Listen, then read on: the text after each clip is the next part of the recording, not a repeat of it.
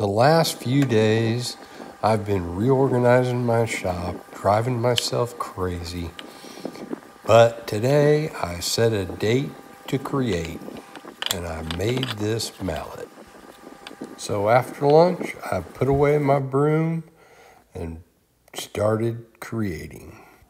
So sit back, relax, enjoy the music, and watch the build.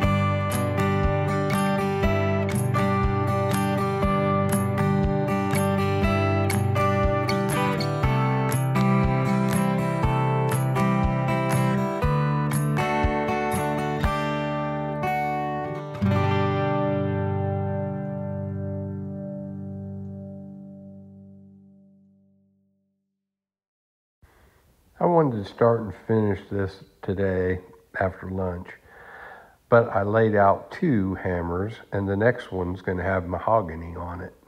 Enjoy.